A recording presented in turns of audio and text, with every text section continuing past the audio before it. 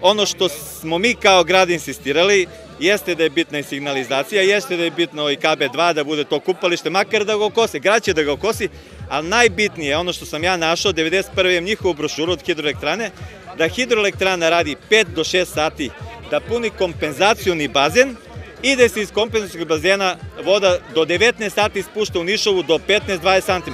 Niti nam treba signalizacija, niti bilo šta. Juče, moram da kažem da je ministarka Zorana bila na, na, na našoj strani i to je mnogo dobro da na ovom, talasu dobre volje uhvatimo da rešimo, po meni ja sam tad rekao na to, tom sastanku da je to najveći problem za mene lično, jer ovde živim, grada Pirota, da se ne bi stvarala tragedija da oni rade u svom režimu. Juče nije tako bilo, nadam se da još uvek imamo svi pomalo svoju neku odgovornost. Ajde da vidimo šta se desilo. Mene nije bilo mrzelo, ja sam otišao na kompenzaciju. Kompenzaciju se prvi put punila, ali je ispuštena reka direktno u Nišu.